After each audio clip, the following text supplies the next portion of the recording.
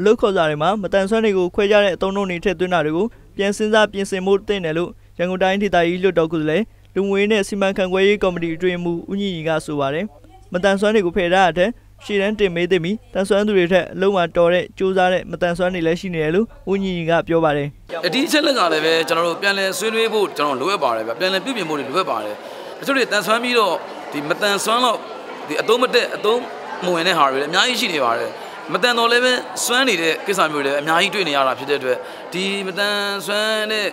ဒီမတန်မဆွမ်းကိုလည်းငါတန်ဆွမ်းမယ်ဆိုတဲ့ဟာမျိုးတွေကတော့ချွင်းချက်အနေနဲ့ထားပြီးတော့ဖယ်သိရင်တော့ဖျားလိမ့်မယ်လို့တော့ကျွန်တော်ပြောချင်ပါတယ်ဗျဟုတ်ကဲ့မလေးတိုင်းဒေသကြီးလွှတ်တော်ရုံးရဲ့လောက်ခေါ်စာရည်ချင်းသတ်မှတ်ချက်အမှတ်စဉ်နှစ်ကကြီးမှာကိုလက်အင်္ဂါတန်ဆွမ်းသူဖြစ်ရမယ်လို့ဒီနေ့ဩဂုတ်လ6ရက်နေ့မှာထုတ်ခဲ့တဲ့မြန်မာလေးသတင်းစာမှာဖော်ပြခဲ့ပါတယ်။ဒီဖော်ပြချက်နဲ့ပတ်သက်ပြီးမြန်မာနိုင်ငံမတန်ဆွမ်းအသိဉာဏ်ကရှုံချတယ်လို့ဩဂုတ်လ22ရက်နေ့မှာလည်းထုတ်ပြန်ခဲ့ပါတယ်။ ပြီးတော့ပညာရေးဝန်ကြီးဌာနရဲ့အလုပ်ခေါ်စာမှာလည်းကိုလက်အင်္ဂါတန်ဆွမ်းသူဖြစ်ရမယ်ဆိုတဲ့အချက်တွေပါဝင်နေတဲ့အတွက်မတန်ဆွမ်းအဖွဲ့ချုပ်ကနေပြီးတော့